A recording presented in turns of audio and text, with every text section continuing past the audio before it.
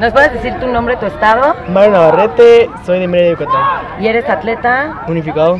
Eh, ¿Nos puedes decir cómo ha cambiado tu vida como compañero unificado en un equipo de Olimpiadas Especiales? Pues me ha...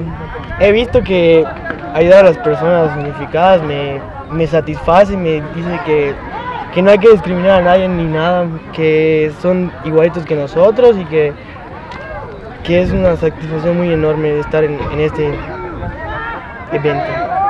Y tú co- como persona sin discapacidad intelectual, ¿cómo crees que cambia la vida el deporte unificado a tus compañeros que tienen discapacidad intelectual? ¿Cuál- ¿Qué cambio ves en ellos? Los, los ayuda a salir adelante, a motivarse, a sentirse más seguros de la vida, o sea, los más libres de sus padres, muchos más independientes.